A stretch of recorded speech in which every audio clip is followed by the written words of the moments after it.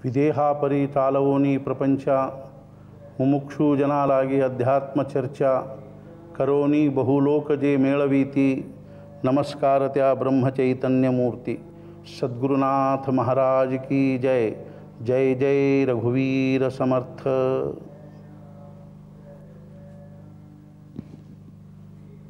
ನಮ್ಮ ಭಾರತೀಯ ಸಂಸ್ಕೃತಿಯು ಅಧ್ಯಾತ್ಮ ಪ್ರಧಾನವಾಗಿರ್ತಕ್ಕಂಥ ಸಂಸ್ಕೃತಿ ಈ ಸಂಸ್ಕೃತಿಯಲ್ಲಿ ಆಧ್ಯಾತ್ಮಿಕ ಅನುಭವವೇ ಜೀವನದ ಪರಮೋಚ್ಚವಾಗಿರ್ತಕ್ಕಂಥ ಮೌಲ್ಯ ಅಂತ ತಿಳ್ಕೊಂಡು ಸಹಸ್ರಾರು ವರ್ಷಗಳಿಂದ ನಮ್ಮ ಭಾರತೀಯ ಜನಜೀವನ ಅನ್ನುವಂಥದ್ದು ಆ ಒಂದು ಅನುಭವದ ಪ್ರಾಪ್ತಿಗಾಗಿ ಆ ಅನುಭವವನ್ನು ಜೀವನದಲ್ಲಿ ಅಳವಡಿಸಿಕೊಳ್ಳುವುದಕ್ಕಾಗಿ ಅನೇಕ ಪ್ರಕಾರವಾಗಿರ್ತಕ್ಕಂಥ ಸಾಧನೆಗಳನ್ನು ಮಾಡೋದನ್ನು ನೋಡ್ತೀವಿ.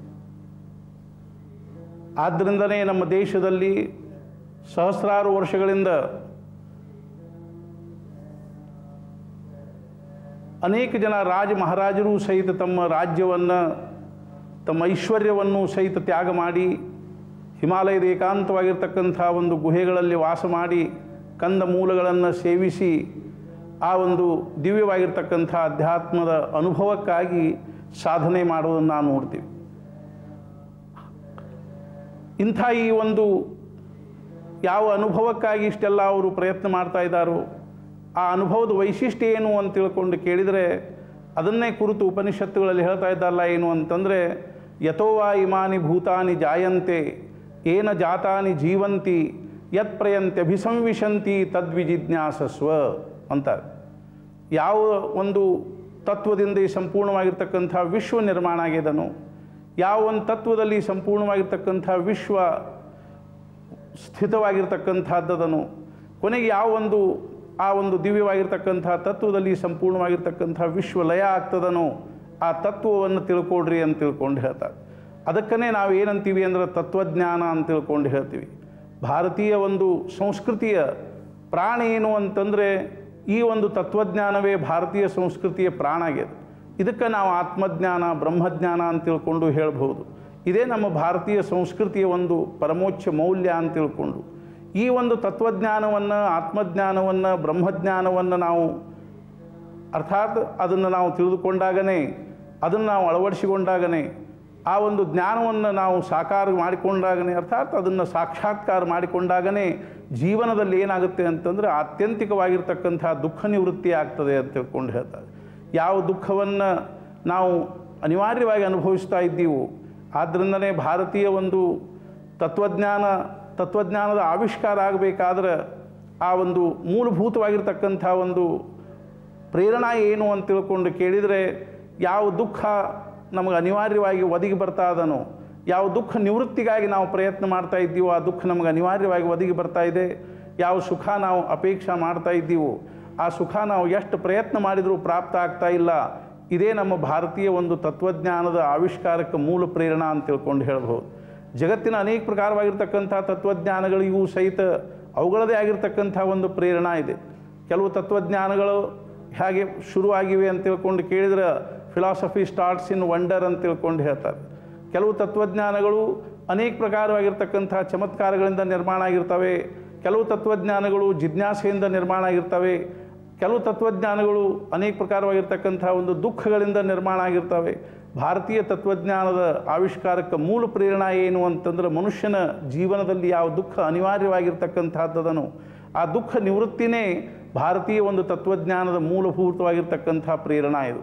ಆದ್ದರಿಂದನೇ ಈ ಒಂದು ಪ್ರೇರಣೆಯನ್ನು ಹೊಂದಿ ನಮ್ಮ ಭಾರತೀಯರು ತಮ್ಮ ಜೀವನದ ಒಂದು ಬಹು, ಬಹಳಷ್ಟು ಸಮಯವನ್ನು ಏಕಾಂತದಲ್ಲಿ ಕಳೆದು ಆ ಒಂದು ಗಾಢವಾಗಿರ್ತಕ್ಕಂಥ ಚಿಂತನೆಯಿಂದ, ವಿಚಾರದಿಂದ, ಜೀವನದ ಮೂಲಭೂತವಾಗಿರ್ತಕ್ಕಂಥ ತತ್ವವನ್ನೇನು ಸಾಕ್ಷಾತ್ಕಾರ ಮಾಡಿಕೊಂಡ್ರು, ಆ ತತ್ವವೇ ಮನುಷ್ಯ ಜೀವನದ ಒಂದೇನು ಅಂತಾರೆ ಪರಮೋಚ್ಚವಾಗಿರ್ತಕ್ಕಂಥ ಮೌಲ್ಯ ಅಂತ ತಿಳ್ಕೊಂಡು ಹೇಳ್ತಾರೆ ಅರ್ಥಾತ್ ಅದನ್ನು ಕುರಿತು ಭಗವದ್ಗೀತೆಯಲ್ಲಿ ಭಗವಂತ ಹೇಳ್ತಾ ಇದ್ದಾನೆ ಏನು ಅಂತಂದರೆ, ಯಂ ಲಬ್ಧ್ವಾ ಚಾಪರಂ ಲಾಭಂ ಮನ್ಯತೆ ನಾಧಿಕಂ ತತಃ, ಯಸ್ಮಿನ್ ಸ್ಥಿತೇನ ದುಃಖೇನ ಗುರುಣಾಪಿನ ವಿಚಾಲ್ಯತೆ ತಂ ವಿದ್ಯಾ ದುಃಖ ಸಂಯೋಗ ವಿಯೋಗಂ ಯೋಗ ಸಂಜ್ಞಿತಮ್ ಅಂತ ತಿಳ್ಕೊಂಡು ಹೇಳೋ ಹಾಗೆ ಯಾವ ಒಂದನ್ನು ಪಡ್ಕೊಂಡ ಬಳಕ ಅದಕ್ಕಿಂತಲೂ ಶ್ರೇಷ್ಠವಾಗಿರ್ತಕ್ಕಂಥದ್ದು ಇನ್ನೊಂದು ಈ ಪ್ರಪಂಚೊಳಗೆ ಇಲ್ಲ ಅಂತ ತಿಳ್ಕೊಂಡು ಅನಿಸ್ತದನೋ ಅದೇ ಏನು ಅಂತ ತಿಳ್ಕೊಂಡು ಕೇಳಿದ್ರೆ ಜೀವನದ ಒಂದು ಪರಮೋಚ್ಛವಾಗಿರ್ತಕ್ಕಂಥ ಮೌಲ್ಯ ಅಂತ ತಿಳ್ಕೊಂಡು ಹೇಳ್ಬೋದು. ಪರಮೋಚ್ಛವಾಗಿರ್ತಕ್ಕಂಥ ಅನುಭವ ಅಂತ ತಿಳ್ಕೊಂಡು ಹೇಳ್ಬೋದು. ನಾವು ಪ್ರಪಂಚದ ಅನುಭವಗಳನ್ನು ಅನುಭವಿಸ್ತೀವಿ. ಪ್ರಪಂಚದ ವಿಷಯಗಳನ್ನು ನಾವು ಅನುಭವಿಸ್ತೀವಿ. ನಾವು ನಾವು ಪ್ರಪಂಚದೊಳಗೆ ಯಾವ, ಯಾವುದೇ ಪ್ರಕಾರವಾಗಿರ್ತಕ್ಕಂತಹ ಸುಖವನ್ನು ಅನುಭವಿಸಿದ್ರೂ ಆ ಸುಖದಿಂದ ನಮ್ದು ಏನಾಗುವುದಿಲ್ಲ ಅಂದ್ರೆ ಜೀವನದ ಪ್ರಶ್ನೆ ಬಗೆಹರಿಯೋದಿಲ್ಲ. ನಾನು ಮೊನ್ನೆ ಅವರಿಗೂ ಕೇಳಿದೆ, ಯಾವ ಸುಖವನ್ನು ನಾವು, ನೀವು ಜೀವನದಲ್ಲಿ ಅನುಭವಿಸ್ತಾ ಇದ್ದೀರೋ, ತಿನ್ನೋದರಿಂದ, ಕುಡಿಯೋದರಿಂದ, ನೋಡೋದರಿಂದ ಜೀವನದ ಪ್ರಶ್ನೆ ಬಗೆಹರಿತಾವೇನು ಅಂತಂದ್ರೆ ಪ್ರಶ್ನೆ ಬಗೆಹರಿಯೋದಿಲ್ಲ. ಆದರೆ ಯಾವ ಒಂದು ಅನುಭವವನ್ನು ಪಡ್ಕೊಂಡ ಬಳಿಕ ಜೀವನದ ಪ್ರಶ್ನೆ ಬಗೆಹರಿತದನೋ, ಅದೇ ಏನು ಅಂತಂದ್ರೆ ಪರಮೋಚ್ಛವಾಗಿರ್ತಕ್ಕಂಥ ಅನುಭವ ಅಂತ ತಿಳ್ಕೊಂಡು ಹೇಳ್ಬೋದು ಅಂಥ ಅನುಭವ ಯಾವುದು ಅಂತ ತಿಳ್ಕೊಂಡು ಕೇಳಿದ್ರೆ ನಾನು ಯಾರು ಅನ್ನುವಂಥದ್ರದ್ದು ಒಂದು ಅನುಭವ ಏನದನೋ ಅದೇ ಪರಮೋಚ್ಯವಾಗಿರ್ತಕ್ಕಂಥ ಅನುಭವ. ಅದಕ್ಕನೇ ನಾವೇನಂತೀವಿ ಅಂದ್ರೆ ಆತ್ಮಜ್ಞಾನ ಅಂತ ತಿಳ್ಕೊಂಡು ಹೇಳ್ತೀವಿ. ಅದಕ್ಕನೇ ನಾವೇನಂತೀವಿ ಅಂದ್ರೆ ತತ್ವಜ್ಞಾನ ಅಂತ ತಿಳ್ಕೊಂಡು ಹೇಳ್ತೀವಿ. ಈ ಒಂದು ನಾನು ಯಾರು ಅನ್ನೋದನ್ನು ನಮಗೆ ಸರಿಯಾಗಿ ತಿಳ್ಕೊಳ್ಳಿಕ್ಕೆ ಬರೋವರೆಗೂ ನಮಗೇನಾಗಲಿಕ್ಕೆ ಶಕ್ಕಿಲ್ಲ ಅಂತಂದರೆ ಜೀವನದಲ್ಲಿ ನಿಜವಾಗಿರ್ತಕ್ಕಂಥ ಒಂದು ಸಮಾಧಾನ ಆಗಲಿ, ಶಾಂತಿ ಆಗಲಿ, ಅಥವಾ ತೃಪ್ತಿ ಆಗಲಿ, ಅಥವಾ ಸುಖ ಆಗಲಿ ಅಥವಾ ದುಃಖ ನಿವೃತ್ತಿ ಆಗಲಿ ಅನ್ನುವಂಥದ್ದಾಗಲಿಕ್ಕೆ ಶಕ್ಕಿಲ್ಲ ಅಂತ. ಒಂದು ದಿವಸ ಸಾಕ್ರೆಟಿಸ್ ಏನು ಮಾಡ್ಲಿಕ್ಕೆ ಹತ್ತಿದ್ದ ಅಂತಂದರೆ ಒಂದು ಗಾರ್ಡನ್ದಲ್ಲಿ ಅಡ್ಡಾಡ್ತಾ ಇದ್ದ. ಅವನೊಂದು ಸ್ವಾಭಾವಿಕವಾಗಿರ್ತಕ್ಕಂಥ ಪ್ರವೃತ್ತಿ ಏನಿತ್ತು ಅಂದರೆ ಅವನು ಹಂಗೆ ಅಡ್ಡಾಡ್ತಾ ಇರಬೇಕಾದ್ರೆ ಕೈಯಲ್ಲಿ ಒಂದು ವಾಕಿಂಗ್ ಸ್ಟಿಕ್ ಹಿಡ್ಕೊಂಡು ಅದನ್ನು ತಿರುಗಿಸ್ಕೊಳ್ತಾ ಅಡ್ಡಾಡ್ತಾ ಇರ್ತಿದ್ದ. ಆ ರೀತಿಯಾಗಿ ತಿರುಗಿಸ್ತಾ ಇರುವಾಗ ಅದು ಯಾರಿಗೋ ಒಬ್ಬರು ತಲೆಗೆ ಬಡೀತು. ಆವಾಗ ಅವ್ರು ಕೇಳಿದರು, ಏ, ಯಾರೋ ನೀನು? ಅಂತ ಕೇಳಿದರು. ಆವಾಗ ಒಂದು ಅವಂಗ ಅದು ಲಕ್ಷ್ಯಕ್ಕೆ ಬರಲಿಲ್ಲ. ಮತ್ತೊಂದು ಸಲ ಅವನು ಭುಜ ಹಿಡಿದು ಕೇಳಿದರು, ಏ, ಯಾರೋ ನೀನು? ಅಂತ. ಆವಾಗ ಒಂದು, ನಾನು ಯಾರು ಅನ್ನೋದನ್ನು ನಾನು ವಿಚಾರ ಮಾಡ್ಲಿಕ್ಕೆ ಹತ್ತೀನಿ ಅಂತ ಹೇಳಿದ ನೀವು ನನಗೆ ನಾನು ಯಾರು ಅನ್ನೋದನ್ನು ಹೇಳಿಕೊಟ್ರೆ ನಾನು ನಿಮಗೆ ಈ ಪ್ರಪಂಚದ ಅರ್ಧ ರಾಜ್ಯ ಕೊಡ್ತೀನಿ ಅಂತ ತಿಳ್ಕೊಂಡು ಹೇಳಿದೆ. ತಾತ್ಪರ್ಯ ಏನು ಅಂತ ತಿಳ್ಕೊಂಡು ಕೇಳಿದರೆ, ನಮಗೆ ಜೀವನದಲ್ಲಿ ನಿಜವಾಗಿಯೂ ಎದರದ ಅಜ್ಞಾನದ ಅಂತ ತಿಳ್ಕೊಂಡು ಕೇಳಿದ್ರೆ, ನಾನು ಯಾರು ಅನ್ನೋದ್ರದ ನಮಗೆ ಅಜ್ಞಾನದ. ಈ ನಾನು ಯಾರು ಅನ್ನೋದ್ರ ಜಿಜ್ಞಾಸದೊಳಗಿಂದನೇ ಭಾರತೀಯ ಒಂದು ತತ್ವಜ್ಞಾನ ಅನ್ನುವಂಥದ್ದು ಆವಿಷ್ಕಾರ ಆಗಿದೆ ಇವತ್ತಿನ ತನಕ ಸಾವಿರಾರು ವರ್ಷಗಳಿಂದ ನಮ್ಮ ಭಾರತೀಯ ಸಂಸ್ಕೃತಿಯಲ್ಲಿ ಸಹಸ್ರಾರು ಜನ ಸಾಧು ಸತ್ ಸತ್ಪುರುಷರು, ಋಷಿ ಮುನಿಗಳು, ಅನೇಕ ಪ್ರಕಾರವಾಗಿರ್ತಕ್ಕಂಥ ಸಂತರು, ಮಹಂತರು, ಎಲ್ಲರೂ ಏನು ವಿಚಾರ ಮಾಡ್ಕೋತ ಬರ್ಲಿಕ್ಕೆ ಹತ್ತಾರ ಅಂತ ತಿಳ್ಕೊಂಡು ಕೇಳಿದರೆ ನಾನು ಯಾರು ಅನ್ನೋದನ್ನು ವಿಚಾರ ಮಾಡ್ಕೋತ ಬರ್ಲಿಕ್ಕೆ ಹತ್ತಿದ್ದಾರೆ ಇವತ್ತಿನ ತನಕನೂ ಆ ಪ್ರಶ್ನೆ ಏನಿದೆ ಅಂದರೆ ಹಾಗೆ ಉಳ್ಕೊಂಡಿದೆ. ಅದಿನ್ನೂ ಯಾರ್ಯಾರಿಗೆ ಆ ಪ್ರಶ್ನೆ ಬಗೆಹರಿದದನೋ ಅವರಿಗೆ ಆ ಜೀವನದಲ್ಲಿ ಸಮಾಧಾನ ಆಗಿದೆ. ಅವ್ರ ಜೀವನ ಅನ್ನುವಂಥದ್ದು ತೃಪ್ತಾಗಿದೆ ಶಾಂತ ಆಗಿದೆ. ಯಾರಿಗೆ ಆ ಜೀವ ಪ್ರಶ್ನೆ ಇನ್ನೂ ಹಾಗೆ ಉಳ್ಕೊಂಡದನೋ ಅವ್ರ ಜೀವನದ ಅವ್ರಿಗೆ ಏನಾಗಿಲ್ಲ, ಅವ್ರ ಜೀವನದಲ್ಲಿ ಅವ್ರಿಗೆ ಏನಾಗಿಲ್ಲ ಅಂದ್ರೆ ನಿಜವಾಗಿರ್ತಕ್ಕಂಥ ಶಾ, ಸಮಾಧಾನ ಅನ್ನುವಂಥದ್ದಾಗಿಲ್ಲ ಅಂತ ಹೇಳ್ಬೋದು. ಆದ್ದರಿಂದನೇ ಅನೇಕ ಜನ ಸತ್ಪುರುಷರು ಈ ವಿಷಯದಲ್ಲಿ ಸೂಕ್ಷ್ಮ ಮಾರ್ಮಿಕವಾಗಿ ಏನಂತಾರೆ ಅಂದರೆ ಮುಂಚೆ ನಾವು ಯಾರು ಅನ್ನೋದನ್ನು ತಿಳ್ಕೊಳ್ಳಿಕ್ಕೆ ಬರಬೇಕು ಅಂತ ತಿಳ್ಕೊಂಡು ಹೇಳ್ತಾರೆ. ಒಂದ್ಸಲ ರಮಣ ಮಹರ್ಷಿಗಳ ಹತ್ರ ಪಾಲ್ ಬ್ರಂಟನ್ ಅಂತ ತಿಳ್ಕೊಂಡು ಒಬ್ಬ ಪಾಶ್ಚಾತ್ಯ ಪತ್ರಕಾರ ಹೋದಾಗ ಬಹಳ ತನಕ ಅವರು ಸುಮ್ಮನೆ ಅತ್ಲಾಗಿ ನೋಡ್ಕೋತ ಕೂತಿದ್ರು, ಅವನ ಕಡೆ ನೋಡ್ತಿದ್ದಿಲ್ಲ. ಕೊನೆಗೆ ಅವನು ಬಹಳ ಬ್ಯಾಸತ್ತು ಎದ್ದು ಹೊರಟಾಗ ಅವನ ಕಡೆಗೆ ಅವ್ರು ತಿರುಗಿ, ಎಲ್ಲಿಂದ ಬಂದೀವೋ ಅಲ್ಲಿಗೆ ಹೋಗು ಅಂತ ತಿಳ್ಕೊಂಡು ಹೇಳಿ ಅವನಿಗೆ ಬಹಳ ಅಸಮಾಧಾನ ಆಯಿತು. ನಾನು ಎಷ್ಟು ದೂರಿಂದ ಇವ್ರನ್ನ ಭೇಟಿ ಅಲ್ಲಿಗೆ ಬಂದಿದ್ದೀನಿ, ಆದ್ರೆ ಇವರರು ಏನಂದ್ರು ಅಂದ್ರೆ ಎಲ್ಲಿಂದ ಬಂದೀವೋ ಅಲ್ಲಿಗೆ ಹೋಗು ಅಂತ ತಿಳ್ಕೊಂಡು ಹೇಳಿದರು ಅಂತ ತಿಳ್ಕೊಂಡು ಅಸಮಾಧಾನದಿಂದ ಹೊರಗೆ ಬಂದಾಗ ಅವ್ರ ಶಿಷ್ಯರಾಗಿರ್ತಕ್ಕಂಥ ಕಾವ್ಯಕಂಠ ಗಣಪತಿ ಮುನಿ ಅಂತ ತಿಳ್ಕೊಂಡಿದ್ರು. ಅವ್ರು ಕೇಳಿದರು, ಯಾಕೆ ಮಹರ್ಷಿಗಳು ಏನು ಹೇಳಿದರು? ಏನು ಹೇಳೋದು? ಹೀಗೆ ಹೇಳಿದರು ಅಂತ ತಿಳ್ಕೊಂಡು ಹೇಳಿ ಆವಾಗ ಅವ್ರು ಹೇಳಿದರು ಅವ್ರು ಬಹಳ ಬರೋಬ್ಬರಿ ಹೇಳ್ಯಾರ ಅಂತ ಹೇಳ್ಬೋದು. ನೀನು ಎಲ್ಲಿಂದ ಬಂದಿದೆಯೋ ಅಲ್ಲಿ ಹೋಗು, ಇದರ ಅರ್ಥ ಏನು ಅಂತಂದರೆ ಯಾವ ಮೂಲಭೂತವಾಗಿರ್ತಕ್ಕಂಥ ನಾನು ಅನ್ನೋಂಥ ತತ್ವದಿಂದ ನೀನು ದೇಹ ಭಾವಕ್ಕೆ ಬಂದಿದೆಯೋ, ಪ್ರಪಂಚಕ್ಕೆ ಬಂದಿದೆಯೋ, ಆ ಭಾವದಿಂದ ಮತ್ತೆ ತಿರುಗಿ ನಾನು ಅನ್ನುವಂಥ ತತ್ವಕ್ಕೆ ಹೋಗು ಅಂದ್ರೇ ಜೀವನದಲ್ಲಿ ನೀನು ನಿಜವಾಗಿರ್ತಕ್ಕಂಥ ಸಮಾಧಾನ ಅನ್ನುವಂಥದ್ದು ಆಗ್ತದೆ ಅಂತ ತಿಳ್ಕೊಂಡು ಹೇಳಿದ್ರು. ಹೆಂಗೋ ಏನದ ಅಂತ ತಿಳ್ಕೊಂಡು ಕೇಳಿದ್ರೆ ನಮ್ಮ ಭಾರತೀಯ ಸಂಸ್ಕೃತಿಯ ಒಂದು ಮೂಲಭೂತವಾಗಿರ್ತಕ್ಕಂಥ ಒಂದು ಸಿದ್ಧಾಂತ ಏನದ ಅಂತ ತಿಳ್ಕೊಂಡು ಕೇಳಿದರೆ, ಆ ನಾನು ಯಾರು ಅನ್ನೋದನ್ನು ತಿಳ್ಕೋಬೇಕಾಗಿರ್ತಕ್ಕಂಥದ್ದೇ ಮೂಲಭೂತವಾಗಿರ್ತಕ್ಕಂಥ ಸಿದ್ಧಾಂತ. ಇದನ್ನು ಯಾರು ತಿಳ್ಕೊಂಡಿದ್ದಾರೋ ಅವ್ರಿಗೆ ನಾವೇನಂತೀವಿ ಅಂತಂದ್ರೆ ಮಹಾತ್ಮರು, ಸಾಧುಗಳು, ಸತ್ಪುರುಷರು ಅಂತ ತಿಳ್ಕೊಂಡು ಹೇಳ್ತೀವಿ. ಯಾರಿಗೆ ಇದು ಅರ್ಥ ಆಗಿಲ್ಲೋ, ಅವ್ರಿಗೆ ನಾವೇನಂತೀವಿ ಅಂದರೆ ಸಾಮಾನ್ಯರು, ಅಜ್ಞಾನಿಗಳು ಅಂತ ತಿಳ್ಕೊಂಡು. ಆದ್ರಿಂದನೇ ಭಾ, ಆದ್ರಿಂದನೇ ನಮ್ಮ ಆಧ್ಯಾತ್ಮಿಕ ಒಂದು ದೃಷ್ಟಿಯಿಂದ ಮನುಷ್ಯ ಮನುಷ್ಯ ಮಾತ್ರರನ್ನು ನಾವು ಮುಖ್ಯವಾಗಿ ಎರಡು ಭಾಗ ಮಾಡಬಹುದು. ಎರಡು ಪ್ರಕಾರದವರು ಅಂತ ತಿಳ್ಕೊಂಡು ಹೇಳ್ಬೋದು. ಒಂದು ಯಾರು ಅಂದ್ರೆ ಜ್ಞಾನಿಗಳು, ಇನ್ನೊಬ್ರು ಯಾರು ಅಂದ್ರೆ ಅಜ್ಞಾನಿಗಳು ಅಂತ. ಯಾರಿಗೆ ನಾನು ಯಾರು ಅನ್ನೋದು ಅರ್ಥ ಆಗಿದನೋ ಅವರು ಜ್ಞಾನಿಗಳು, ಮತ್ತು ಯಾರಿಗೆ ನಾನು ಯಾರು ಅನ್ನೋದು ಯಾರಿಗೆ ಅರ್ಥ ಆಗಿಲ್ಲೋ ಅವರೆಲ್ಲರೂ ಏನು ಅಂತಂದ್ರೆ ಅಜ್ಞಾನಿಗಳು ಅಂತ. ದೇಹ ಬುದ್ಧಿಯಿಂದ ಅವ್ರು ಏನು ಬೇಕಾದವ್ರು ಇದ್ದರೂ ಸಹಿತ ಅವರಿಗೆ ವಾಸ್ತವಿಕವಾಗಿರ್ತಕ್ಕಂಥ ನಾನು ಯಾರು ಅನ್ನೋದ್ರದ್ದು ಎಲ್ಲಿವರೆಗೂ ಅರ್ಥ ಆಗಿಲ್ಲೋ ಅವರನ್ನು ನಾವು ಯಾವ ಯಾವ ಒಂದು ಪಂಕ್ತಿಯಲ್ಲಿ ಸೇರಿಸಬೇಕು ಅಂದ್ರೆ ಅಜ್ಞಾನಿಗಳ ಪಂಕ್ತಿಯಲ್ಲಿ ಸೇರಿಸಬೇಕು ಅಂತ ತಿಳ್ಕೊಂಡು ಹೇಳ್ತಾರೆ. ಆದ್ದರಿಂದನೇ ಜಗತ್ತಿನ ಒಂದು ಅರ್ಥಾತ್ ಸಂಸ್ಕೃತಿಯ ಒಂದು ಇತಿಹಾಸದಲ್ಲಿ ಭಾರತೀಯ ಸಂಸ್ಕೃತಿಯ ಒಂದು ವೈಶಿಷ್ಟ್ಯ ಯಾವ ದೃಷ್ಟಿಯಿಂದ ಅದ ಅಂತ ತಿಳ್ಕೊಂಡು ಕೇಳಿದ್ರೆ ಈ ಪ್ರಕಾರವಾಗಿರ್ತಕ್ಕಂಥ ನಾನು ಯಾರು ಅನ್ನೋದನ್ನು ತಿಳ್ಕೊಂಡಿರ್ತಕ್ಕಂಥ ಒಂದು ಸಾಧು ಸತ್ಪುರುಷರ ದಿವ್ಯವಾಗಿರ್ತಕ್ಕಂಥ ಅನುಭವದ ದೃಷ್ಟಿಯಿಂದನೇ ಭಾರತೀಯ ಸಂಸ್ಕೃತಿ ತನ್ನದೇ ಆಗಿರ್ತಕ್ಕಂಥ ಒಂದು ವೈಶಿಷ್ಟ್ಯವನ್ನು ಹೊಂದಿರತಕ್ಕಂಥದ್ದಾಗಿದೆ.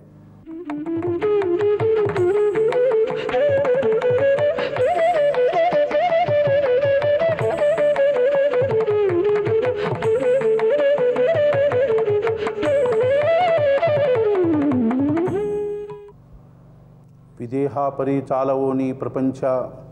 ಮುಮುಕ್ಷು ಜನಾಲಾಗಿ ಅಧ್ಯಾತ್ಮ ಚರ್ಚಾ. ಕರೋನಿ ಬಹುಲೋಕಜೆ ಮೇಳವೀತಿ. ನಮಸ್ಕಾರತ್ಯ ಬ್ರಹ್ಮಚೈತನ್ಯ ಮೂರ್ತಿ. ಸದ್ಗುರುನಾಥ ಮಹಾರಾಜ್ ಕಿ ಜೈ. ಜೈ ಜೈ ರಘುವೀರ ಸಮರ್ಥ.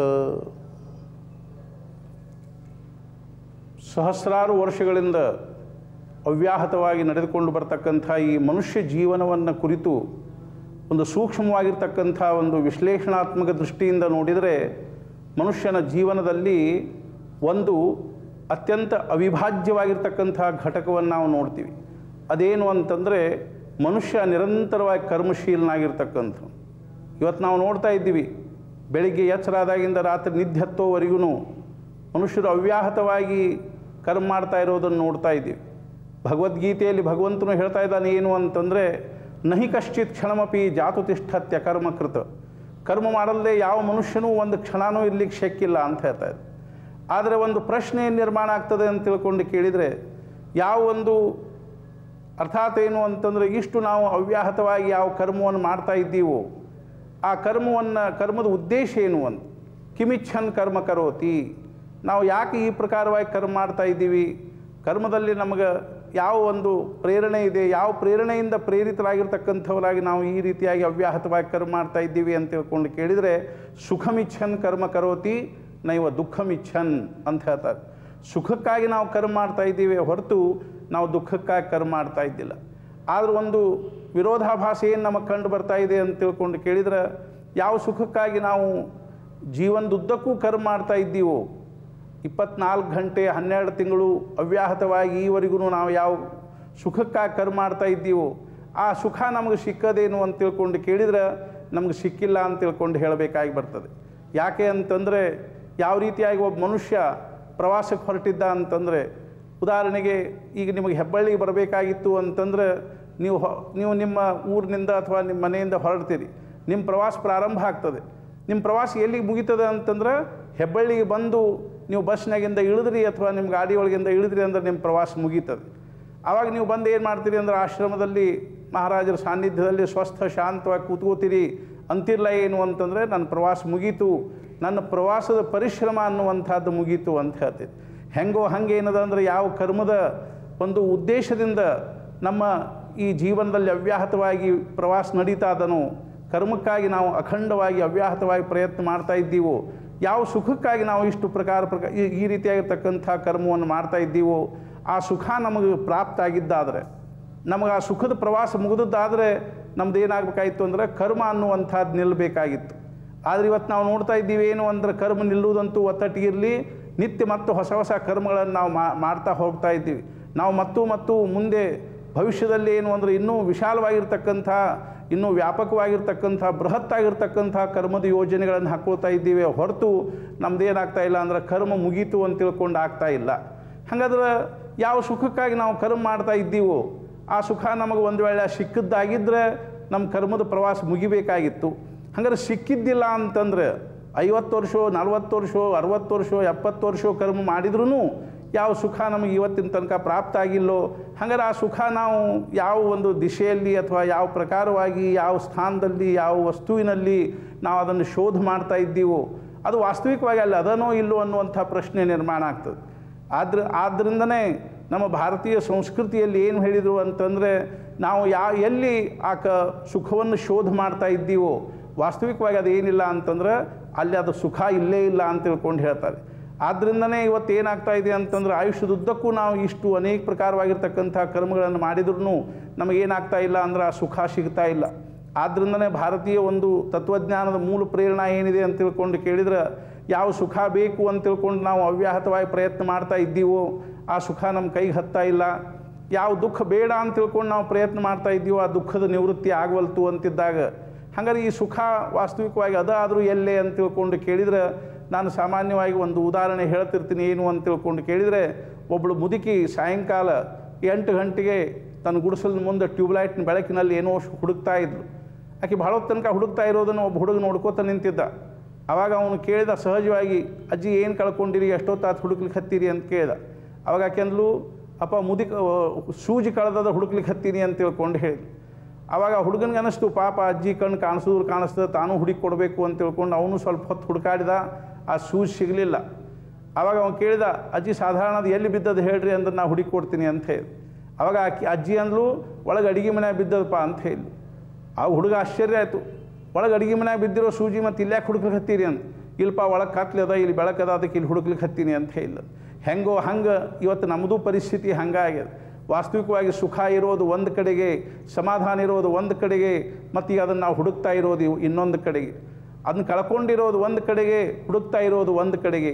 ಆದ್ದರಿಂದನೇ ನಮ್ಮ ಭಾರತೀಯ ಒಂದು ಋಷಿಮುನಿಗಳು ನಮ್ಮ ಸಾಧು ಸಂತರು ಏನು ಮಾಡಿದರು ಅಂತ ತಿಳ್ಕೊಂಡು ಕೇಳಿದ್ರೆ, ಅದನ್ನು ಎಲ್ಲಿ ಕಳ್ಕೊಂಡೀವೋ ಅಲ್ಲಿ ಹುಡುಕ್ಲಿಕ್ಕೆ ಪ್ರಯತ್ನ ಮಾಡಿದರು. ಆದ್ದರಿಂದನೇ ಇವತ್ತು ನಾವು ನೋಡ್ತಾ ಇದ್ದೀವಿ, ಇಂದಿನ ಈ ವೈಜ್ಞಾನಿಕ ಸಂಸ್ಕೃತಿಯಲ್ಲಿ ಇಷ್ಟೊಂದು ವೈಜ್ಞಾನಿಕವಾಗಿರ್ತಕ್ಕಂಥ ಆವಿಷ್ಕಾರಗಳ ಒಂದು ಪರಮೋಚ್ಚ ಅವಸ್ಥೆಯಲ್ಲಿರುವಾಗಲೂ ಸಹಿತ ನಮ್ಮ ಜೀವನ ಏನಿದೆ ಅಂತ ತಿಳ್ಕೊಂಡು ಕೇಳಿದ್ರೆ ಅಶಾಂತಿ, ಅಸಮಾಧಾನಗಳಿಂದ ತುಂಬಿಕೊಂಡಿರೋದಕ್ಕೆ ಮುಖ್ಯವಾಗಿರ್ತಕ್ಕಂಥ ಕಾರಣ ಏನು ಅಂತಂದರೆ ಮನುಷ್ಯ ತನ್ನ ಬುದ್ಧಿಶಕ್ತಿಯನ್ನು ಹೊರಗಿನ ಪದಾರ್ಥಗಳಲ್ಲಿ ಕೇಂದ್ರೀಕರಿಸಿರೋದ್ರಿಂದ ಯಾವ ಈ ವಿಜ್ಞಾನದ ಆವಿಷ್ಕಾರ ಆಗ್ಯದನೋ ನಾವು ಏನು ಮಾಡ್ತಾ ಇದ್ದೀವಿ ಅಂತಂದ್ರೆ ಇದೋ, ಇದೇ ನಿಜವಾಗಿರ್ತಕ್ಕಂಥ ಸುಖದ ಸಾಧನೆ, ಇದೇ ಜೀವನದಲ್ಲಿ ನಿಜವಾಗಿರ್ತಕ್ಕಂಥ ಸಮಾಧಾನದ ಒಂದು ಸಾಧನೆ ಅನ್ನುವಂಥ ಭಾವದಿಂದ ನಾವು ಅದರಲ್ಲೇ ಸುಖವನ್ನು ಶೋಧ ಮಾಡ್ತಾ ಹೋಗ್ತಾ ಇದ್ದೀವಿ.